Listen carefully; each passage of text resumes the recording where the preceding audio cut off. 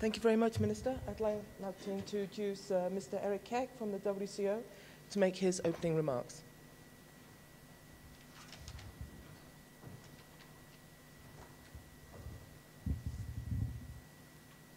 Thank you very much, uh, Maxine, uh, Minister Davies, colleagues and friends. Uh, greetings from the World Customs Organization and Brussels. It's very good to, to be back home uh, as well and to, of course, see so many friends and uh, familiar faces uh, in the audience this morning. The World Customs Organization is very pleased to be associated with this conference um, and uh, to, to, to co-organize and sponsor the event with, uh, with the USAID and, of course, the, the, the Trade Hub. We live in uncertain times. I think the global financial crisis that Minister Davies alluded to, and of course the ongoing sovereign debt crisis, especially as it's playing out in Europe, certainly underscore the uncertain times that we are all living in globally. I think if you look back at specifically the global financial crisis, there, there are two lessons from the global financial crisis that are still with us today and that I think is really relevant to, to also look at within the context of this conference. The first is how closely interconnected our economies are around the world and certainly in Southern Africa as well the cross border flows of goods, people, and money, and the rise of international trade supply chains connect us and bind us very close together. The second lesson, I think, from the global financial crisis, in addition to understanding how interconnected our economies are, would be the important role of the state and the important role of state institutions. We need our states to develop good ideas and policies. But the test of all of this is our ability to implement them. We need execution, we need results. We require professional service delivery on the parts of our states, and most definitely those parts of our states at the border involved with international trade, international trade administration, and trade facilitation. The Minister in his remarks spoke about a very ambitious agenda in southern Africa and across the continent to increase market access, to open up our markets to goods originating in each other's territory. And I think, yes, to do all of this, we need negotiations that come up with an ambitious package, with new rules.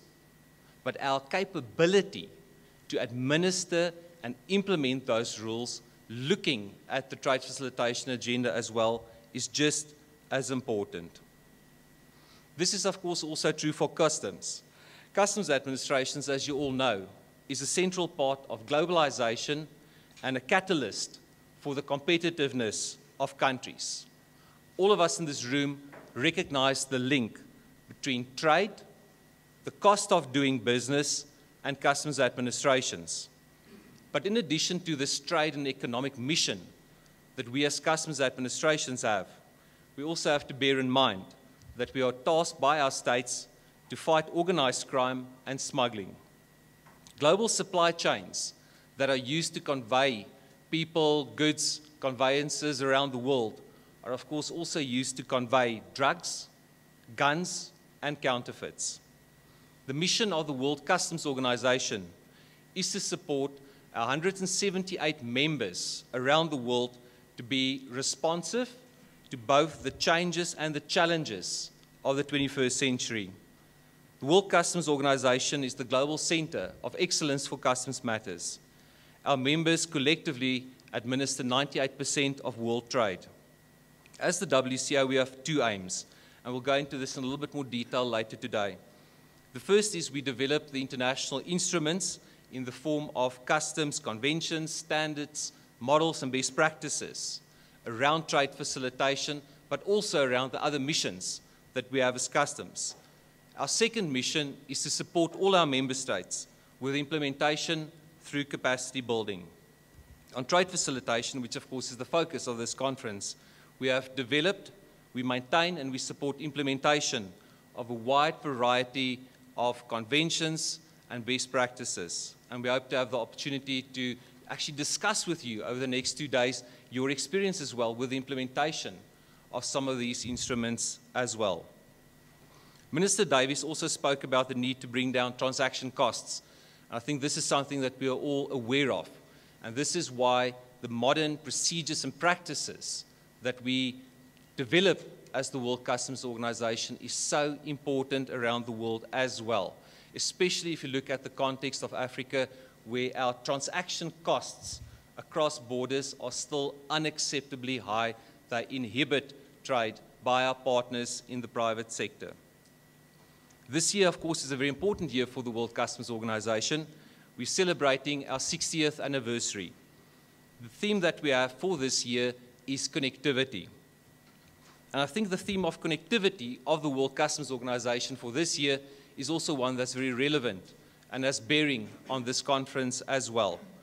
And within the context of connectivity, I think there are three drivers. Customs to customs connectivity, and Minister Davies spoke about the, the program that is underway that the World Customs Organization is supporting, where one of the key initiatives there is actually to electronically connect the five customs administrations of the SACU uh, area. But of course, the ambition is then to take this and to roll this out across southern Africa and to other parts of the continent as well. The second big driver is customs and other government agencies. One of the things that I think we've come to realize as well when we look at the trade facilitation agenda is that customs is at the border responsible for clearing the goods crossing our borders, but it certainly is not the only player in the international supply chain. And the concept of coordinated border management has taken root in the World Customs Organization and has become a big focus for the WCO, but also for our member governments as well. And the idea there is how do we actually bring together all government agencies with a responsibility for international trade, especially on the regulatory side, work together as government agencies, break down some of those silos that we find within countries sometimes and between countries as well, to make it easier, to make the rules better understood, and again, to bring down those transaction costs that sometimes inhibit the movement of goods across our borders. The third driver, just as important as the other two, would be customs to business connectivity and customs business partnerships. And again, from the WCO perspective, we are supporting a number of administrations across the continent with building customs business partnerships. Again, I think the recognition here is that customs is responsible for international trade administration, but we're not responsible for international trade. It's the business communities in our countries that are the drivers of economic activity, that are the drivers of international trade. And it's our responsibility as governments and as customs administrations to listen, to understand, to understand what the challenges are that are faced by the business community, to build the necessary partnerships where we can listen to each other and together come up with solutions as well. Because at the end of the day, we would like to have the same thing and that is growth in our economies and compliance. Legitimate business wants compliance just as much of customs administrations, because this is what keeps the playing field level as well. So customs to customs connectivity, customs and other government agencies at the border, coordinated border management, and customs and business partnerships should be three drivers that sit right at the center of any discussion around trade facilitation, such as the one that we will be having at this conference over the next uh, two days. Ladies and gentlemen, with those uh, brief opening remarks, uh, thank you very much again for inviting us.